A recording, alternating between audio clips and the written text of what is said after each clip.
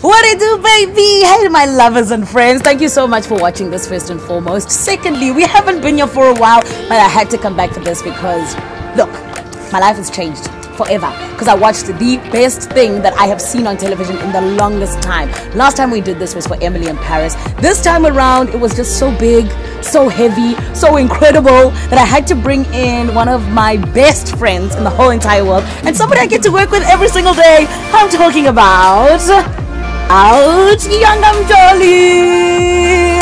Hi. Hi.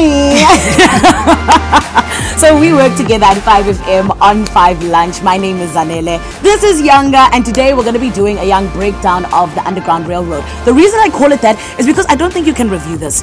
No, you can't. It's a 5 out of 5. We've already told you. We like, decided. Yeah, yeah. You just you have to go watch it. It is what it is. Don't even try. And we're gonna be giving you ten reasons as to why you need to go watch the Underground Railroad. So reason number one. Reason number two, Thuso Mbedu. Reason number three, the main character, Thuso Mbedu. Yeah. Reason number four, Thuso Mbedu. Yeah. Reason number five. Thuso Mbedu. Yeah, reason number six, the main character who's played by Cora, who's played by oh what Thuso Mbedu. Yeah, yes. Thuso Mbedu. Wait, reason number seven. Thuso Mbedu. Reason number eight, you guessed it. Thuso Mbedu. Okay, we're kidding, we're kidding. Kind of, but not really. But like, you know, we can't make all of them Thuso. In any case, though, we should start with the real ones from this, number yeah. 10.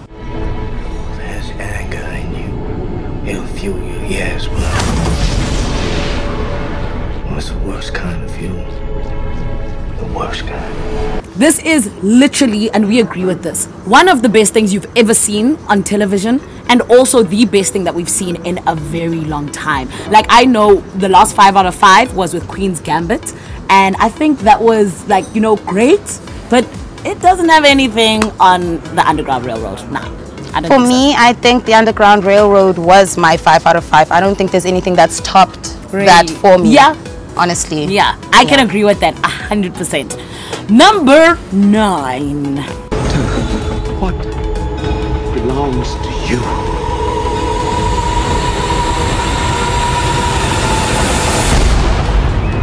Number nine, I think the Underground Railroad definitely proves and shows that your dreams are valid and yeah. they can come true. Mm. Having Thuso come from ETV doing Scandal as Kitsombetu, I think Kitso Mepetu. I don't know. Oh well, okay. she was on Scandal. she was there. yes. she was there. And Is'Thunzi and all of those other things. Yeah. And now she's the lead character on the Underground Railroad.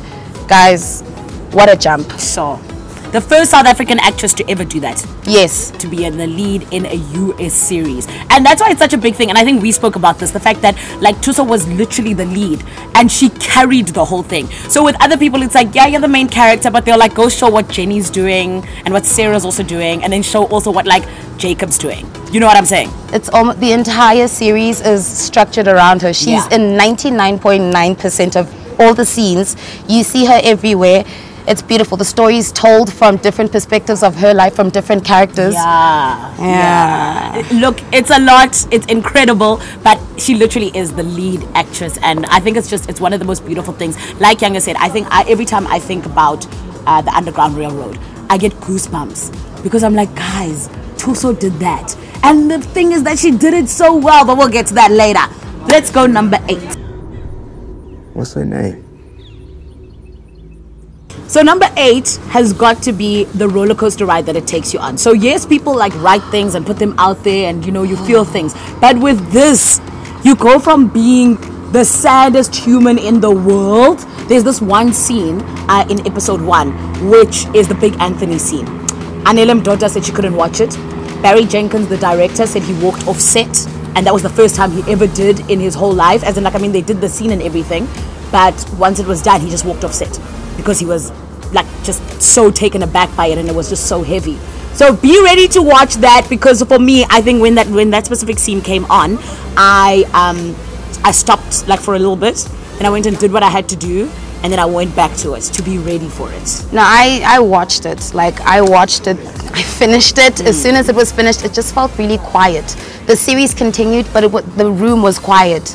It changes the mood. Mm. That scene was powerful.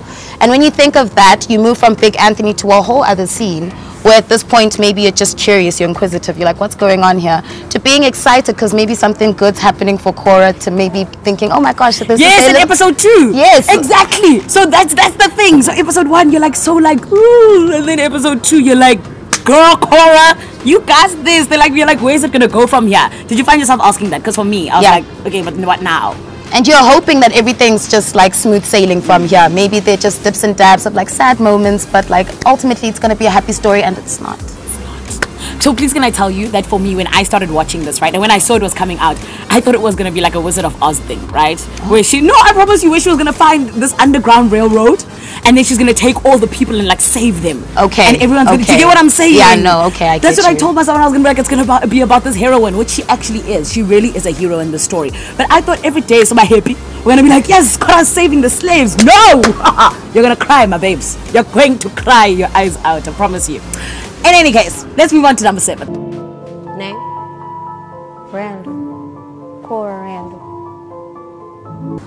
Number seven, the love stories. Guys, Cora goes through the most. But the one thing you can be excited for is the fact that, you know, it looks like they might be a potential person that, you know, we hope to see her within future. We want to see things, something happen there. And every time it looks like something's about to happen, uh, Yeah. No. We're just we're just letting you know. Yeah. Because like just to be ready. I mean this thing was so deep that people like Oprah and Barry Jenkins and Thuso, they've all said that you can't like take it in all at once. Like from Yeah. episode one to ten. You need to take breaks in between. So don't binge watch it, like watch it in between. I watched it in a day and a half. She binge watched it. binged watched it. I, I guys there was a point where I went to the bathroom and I was there, I was sad. I was like, what are we gonna do now? And I was like, oh no, it's not real. then there was another point where I was just driving. I was like, Lord, please help Cora. Hi, Zanele. She's not a real character. I mean, she's not a real person. It's just a character. So that was, uh, it, it really is deep. But the love stories is definitely number seven. Um, Cora and Caesar, love them. Cora and Royal love them. It's ah, it's just so beautiful. Just go check it out for yourself, and you will see. Number six. You came all this way on the railroad. I left behind all those peoples.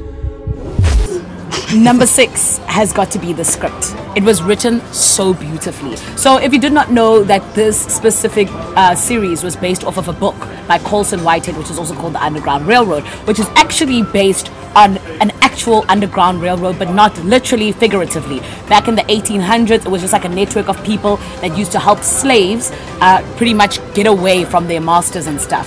So, those slaves who had run away, mm. there was a network of people who would then help them like hide and get even further away from these people that were trying to catch them. So this is what it's based off of. So that's the really painful thing I think about Underground Railroad is the fact that yes, it's fiction, but it's based off of history and things that actually happened. And I think that's why episode nine, like, it broke me. Every other time I was like tear, tear here and there, but it broke me as a whole. But back to number six, uh, the script was written really beautifully. One of my favorite lines was. Um, people will justify I mean people will do anything that they deem as just. Yeah. And that's me paraphrasing. That like if they think that there's justice in what they're doing, then they will try find ways to be like, okay, cool, this is the reason XYZ and they'll believe in it even though it's wrong. Another thing I loved about the script was the fact that you could not predict anything. Yeah. There are moments where you're just like, oh my goodness, Cora, run, someone run, you know, get out of somewhere or like escape. But then you're also thinking, but if she does that, what will happen? Yes. So you don't know. There's certain things that happen that make you hate Cora, and then mm. it's later revealed you actually had no reason to hate her because I guess that's just the way things were supposed to happen. Did you hate her at some point? I did hate Cora. That's I so weird because I loved her all throughout. Maybe it's because of my love for Thuso Mbedu. I don't know. But I really, I never hated Cora at any point. No, I love. So it is her. It's No, her. Yes, it's, it's her Mm. portrayal Yes. as Cora. No, definitely. There's just a scene. I am no spoiler. there is a scene where she makes a certain decision which I just disapproved of, and I What which like episode was it in? this is. You know what? I can't tell you what episode actually because I don't remember the episodes by Okay, number. okay. Something had happened, and she decided to be a hero in her mind, and then she got a bunch of people killed. Okay, fine. I get what Young is saying. I mean, you have to go watch it to find out what she just said now. But I don't agree, but it's fine. I don't hate her. Yeah, I know real. that, I hated her yes. for a moment. Yes. She's such a good actress. No, no, no. We're not talking about Thuso here. We're talking about Cora. Yes, hence I'm I get what you mean by hating Cora, but in any case, Number five. For five FM. Our bosses paid us to say that. Jokes. Was given. All was earned. Hold on. That brings us to number five, actually. The history. One of the biggest things about it is the fact that the Underground Railroad reflects what happened back in history, like I said earlier on. But I think that it really just shows you so many truths that you weren't aware of. And also, another thing, um, even this guy, he said it, I think in episode nine, like I said, broke me. He was like that you can't get rid of slavery. Everything because of the ripple effect of slavery is then affected by it and it'll never not be affected by it. So even in today's world we still you know are living in times where we live through the repercussions of, slavery, slavery, exactly. So for me i think that's one of the biggest things just the history that was shared and also just how much it kind of also showed us that you know back then they were running from you know their masters and whatnot whatnot. And to this day unfortunately black people are still living in fear No, definitely. Hmm. Another thing I think in regards to history is just how much I learnt about slavery. Yeah. And it made me realize that I don't think there is that much information given to us just in regards to what actually happened during the times when people owned slaves, how slaves were treated. Yeah. There's so many things you're going to learn about when you watch the Underground Railroad. It's a lot. A lot of practices that I was not aware of. But look, you learn a lot, and at the same time, you're entertained, but not entertained smiley. You're entertained in the sense that you cannot stop watching mm. because you're learning, but you're also actually being emotionally influenced by what you're watching. Yeah, yeah. And also just in terms of like the whole thing of like it reflecting even our times today, I think Thuso Mbedu said the same thing as well. She was like, you know, you watch it and you're kind of just like, but you know, we still kind of live like this. And obviously not necessarily slavery, slavery, mm. but just like things of like fear. Just Yeah. because your skin is black and all Yeah. of those things. It really is I think it's a very rude awakening for even us who are woke and know what is happening in today's time. Yeah. Yeah. episode episode four. I want to go watch it now. Reason number four. Girl in that bulletin is wanted for the murder of a child. we actually bought this just to have refreshments while we were doing this. Um, this is not a review. I was still reviewing the Underground Railroad, but it is a double shot coffee and tea craft iced tea. Mm. That's what I wanted to tell you because I've never had a craft iced tea in my life. So this is interesting. I was about There's to be like, this is awkward. no, here it is. Okay, in any case, let's go number four. So number four, well, the fourth reason to watch the Underground Railroad is mm-hmm. the cost. Yes. Yes, so Sorry, my hair. Oh. Here we go. Okay. Let's go. Number four. so the fourth reason to watch the Underground Railroad is definitely the cost. Yes. You might have seen a few characters or a few people played in different series or different movies, but when you see them in the Underground Railroad, they're not who you thought they were. No, they are. co- no. they are not. No.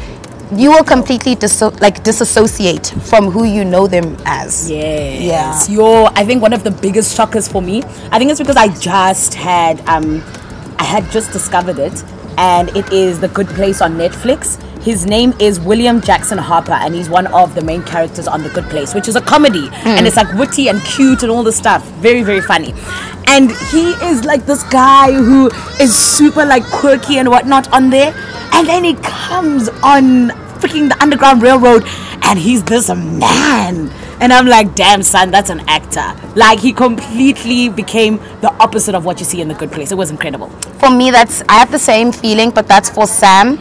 Sam is played by Will Poulter. Yes. Will Poulter. So if you've seen We're the Millers, right, Yes. you would have known him as basically the guy who plays their son, and he's just guys like he's just a joke there. Like they mistreat him. he's not a serious person. But when you see him.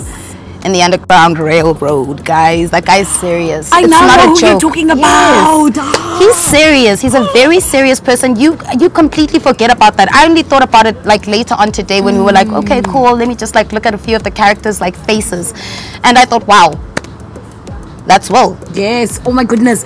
And this is the thing. That's like shouting out one or two people who we've just seen as complete opposites to what we saw in the Underground Railroad. We say the cast at number four because everybody was incredible. Everyone, from the person who said two lines to the people who were like second to Thuso, to Thuso herself, it was crazy. Yeah. The lady who um cast them, her name is Francine Maisler. I even know her as in like I know her name. I mean, hey Francine. I know her name because she did such a good job. And like Thuso mentioned her, and I was like, oh my goodness, I need to keep that name in my head forever because she did such a legendary, iconic thing with how she cast everyone so perfectly. And I think even Joel Edgerton, mm. who was the antagonist, the guy who was like, you know, against Thuso, he killed it. One of the best villains I've seen ever. Yeah. I couldn't I couldn't think of anyone else to cast in this position. yeah. Seeing his performance, I thought, okay, wow, look, we know some really good actors Yeah. worldwide, known for being villains. He killed it. Yeah. No one else but him. And that's how we felt about everyone. Yeah. Every single person. Number three. You run away. I'm not sure. This is the most exciting one. Okay, well, I mean, other than outside of number one, which you're leaving for last. But number three was without a doubt the cinematography. Oh my goodness. I think it was Ukaya Dlanga who said that every single picture, or rather every single frame, is like a piece of art. And it's true. You look at, even when they're showing like a leaf, it's the most beautiful leaf that you've ever seen in your life. I promise you. Am I not lying? No, you're not. And it also makes you think, guys. Like every time there's a new shot or anything, you just sit there and you're like, how did you guys set this up? Where is this place? Like, where are you guys filming? But you're also like, Thuso, girl, where are you? Like, Ah, it's breathtaking, guys. Like it's absolutely beautiful. Like I'm just like, what kind of cameras do they use? That was my biggest question. I was like, what's going on there? Because why does it look so different to everything else we've ever seen? the quality. Crisp, clean, Guys. beautiful, stunning. Loved it. Let's go number two. Yangle, jangle, bangle.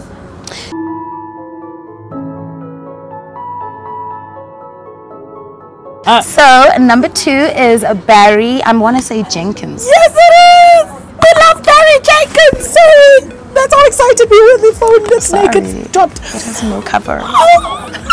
Oh, Barry Jenkins. I'm like a Barry Jenkins stan. Like, I mean, who isn't? If we're being honest, Oscar winner. He's black. He's young. He's killing it. He gave us the Underground Railroad. Gave us Moonlight and all those other beautiful things. But Loved this, Moonlight. But Dude. this, this. what's a bigger word than love? agape. What, what is it?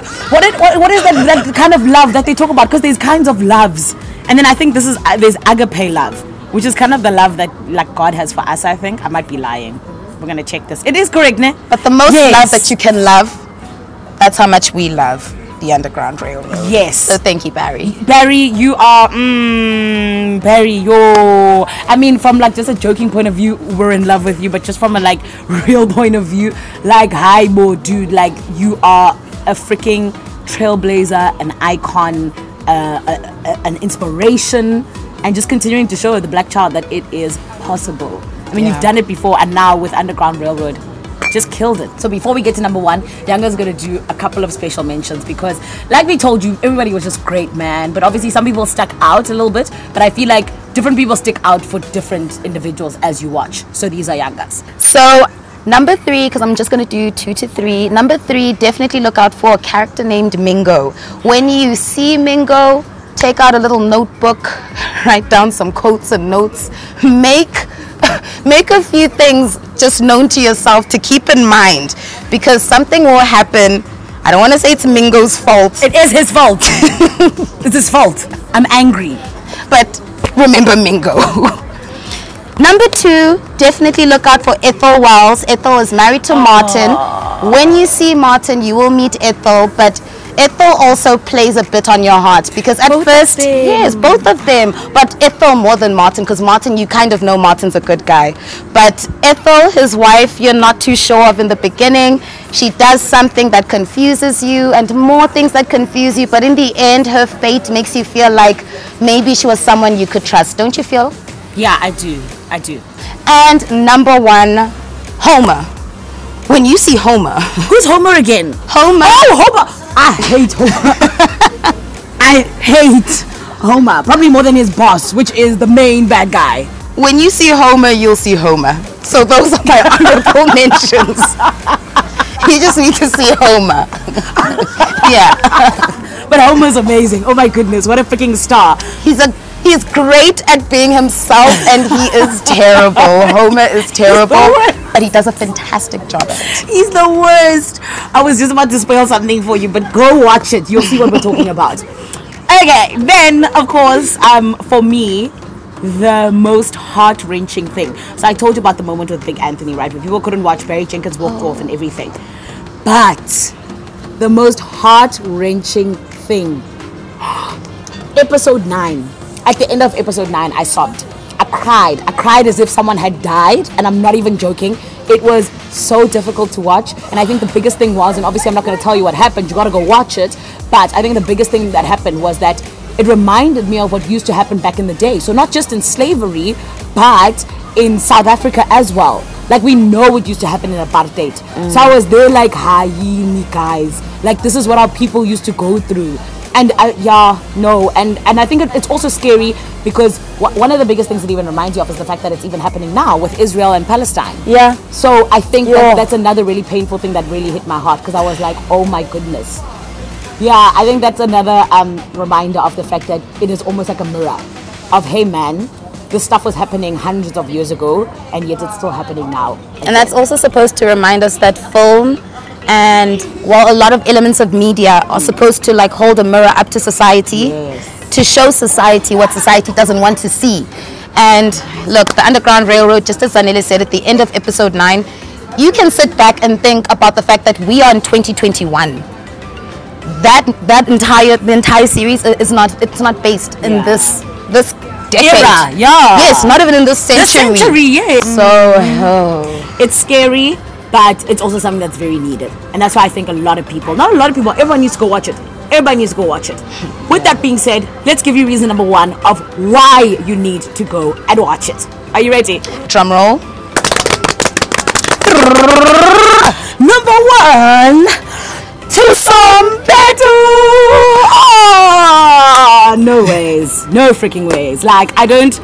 I don't think there are actually words to describe what Thuso Mbedu did in the Underground Railroad. I say that because she even blew away an entire Oprah Winfrey. She said she's never seen such a consistent performance in her whole entire life. Guys, Thuso Thuso became Cora. And when we when we say that, we just mean Thuso does not sound South African. She was in a whole different century. Mm. She Zanele even said the other day, she commented on it when we were speaking about the show. She was like, dude, Thuso learned how to walk different. How to just like her gestures, even just like just being calm and being like, yo guys, no. she spoke different she she stood different like it was ah dude it was sublime it was incredible i can't wait for her to win the emmy because she's going to i can't wait for her to win an oscar one day because she's going to multiple of them actually emmy golden globe oscar she's gonna eh, god she's gonna be there that's gonna be Thuso. like it was literally like Yanga said she became cora and Cora became Thuso. Like it was one person. There was no sign of Thuso in that character. Yeah. And it was beautiful to watch. And anyone who watches it is just like taken by her. Even hmm. Matthew A. Cherry, Oscar winner, he was like, just give her the Emmy, like back it up, give her all of them. Just and one of the things I said to the Five Breakfast team the other day, because they asked me for a little bit of a review since I'd watched all ten episodes, I was like, guys, remember a few years ago when the Golden Globes or the Emmys, I think, became the Modern Family Awards. Yeah. that's what's gonna happen with the Underground Railroad. Mm. Is all the awards are gonna go to them, and I, I will fight anyone. yes, they- it's in the uh, USA, but I'm gonna get there. But they, and they kind of should. All the awards kind of should go there. Like I don't know. I'm not. We're not fortune tellers. We don't know what else is going to be re- like released later on this year. Don't care. But I don't know if it'll be better than No. the Underground Railroad. No, not I know. too sure about that. Nah, nah, nah, nah. And honestly and truly, just as a whole, I think that was one of the best performances I've ever seen on television. And like, I think only thing that really even you can compare it to, and Oprah even said this, is the fact that Utuso reminds her of Viola Davis. And we know how Viola loses herself in a character. Oh, Viola, guys. Like, and that's why it only makes sense that they're gonna be together in Woman King. I'm so excited. Shooting it in South Africa. Oh. In any case, I, uh, yeah, honestly and truly, one of the best performances you will have ever seen on screen. And I also think that, like, just a young message to Thuso.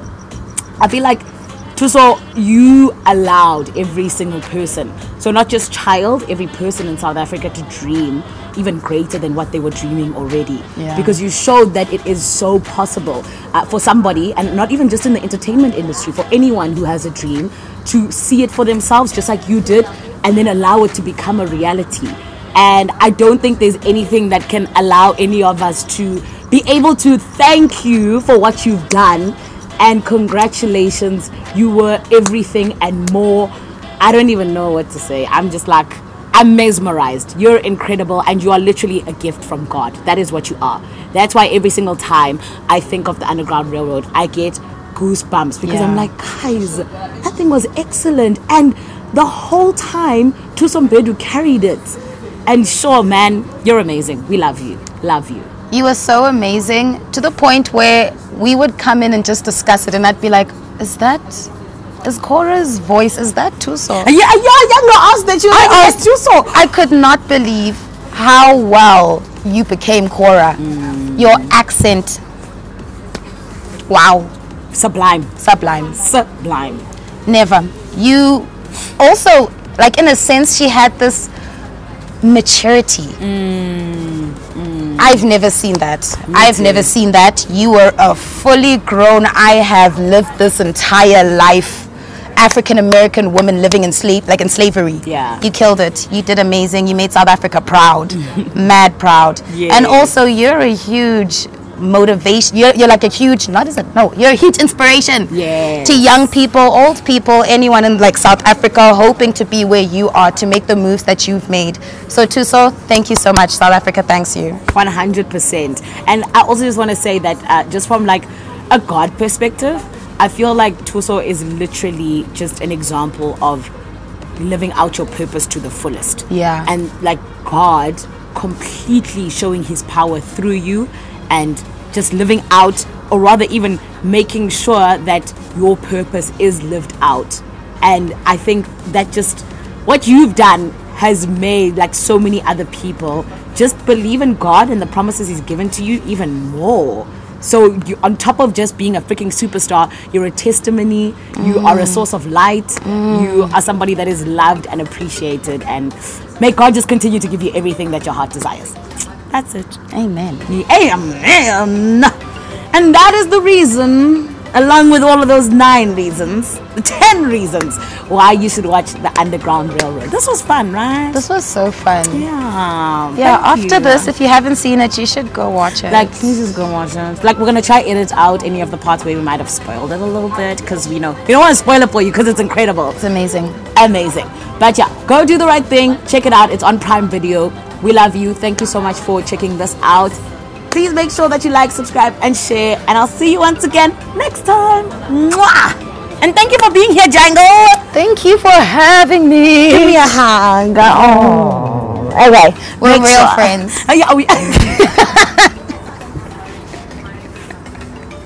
Why did you feel the need to say that? I'm so confused. Okay. Because you can tell. Oh, okay. Anyway, we also do work on the same show on 5FM. I know it's crazy, right? God's amazing like that. Check us out 12 to 3 p.m. Monday to Friday on 5FM. Bye.